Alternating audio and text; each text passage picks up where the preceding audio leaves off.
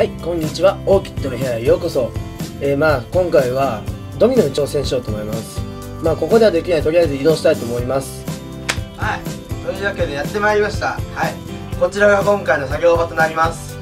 はいというわけで今回私がドミノの代わりに使用する将棋の駒100個あります。では早速並べていきたいと思います。はいではねまあこちらの駒から順番に置いていきたいと思います。はい置きます。はいまあ、これを、まあ、今回は面白い感じにどんどん置いていきたいと思います。こうやって。はい。とりあえずこれどんどん並べていきたいと思います。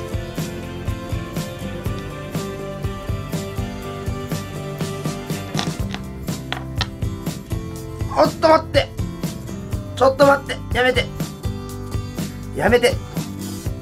ちょっと待ってください。はあ、本当にやめて。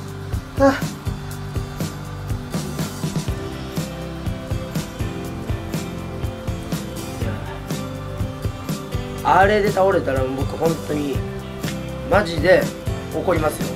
猫。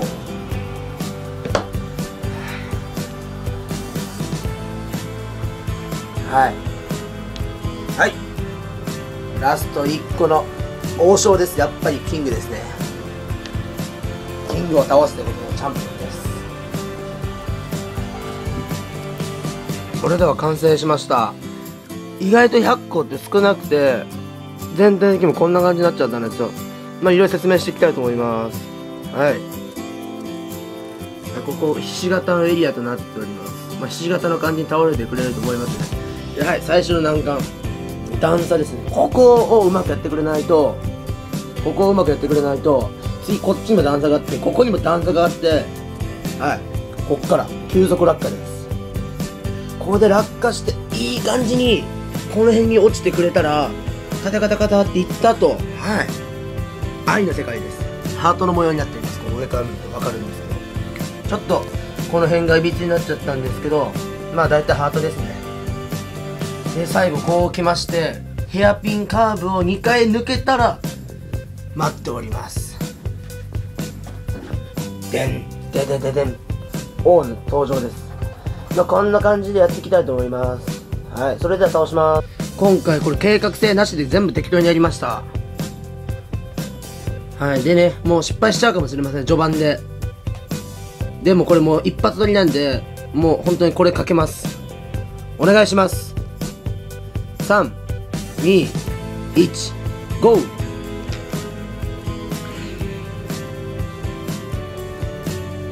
はい。というわけで戻ってきました。本当に何でなんでしょうねさっきのは。やっぱり将棋の駒だからうまく倒れなかったんでしょうね。はい。でね、まあ、前回から言ったと思うんですけど採点を入れていきたいと思うんで採点します。はい。はい。3点。でねなんで3点かというと倒れた駒の数が3つだったら3点です。はい。